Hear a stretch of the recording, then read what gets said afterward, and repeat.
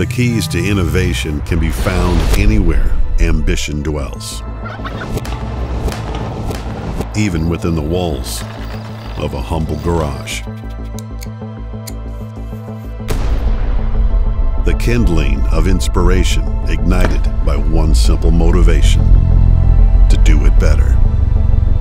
Through experimentation and struggle, great ideas come from the hours of nightly ritual. We fought the noise and began a revolution that impacted with industrial fervor. The age of silence brought back from the dead and made accessible to those it had been kept from for decades.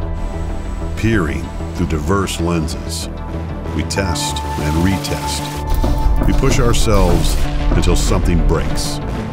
Find out why, then start over.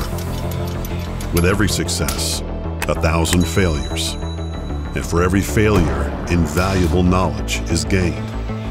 These new paths formed from trial and error have led our obsession for details that craft precise innovation. We've taken risks, watched dreams run headfirst into commercial failure, and felt helpless as good intentions sparked unintended consequences. We are no stranger to turbulent waters because we understand that you can't disrupt an industry without shaking it up. Playing it safe is something we leave to those who care more about the bottom line than they do raising the bar.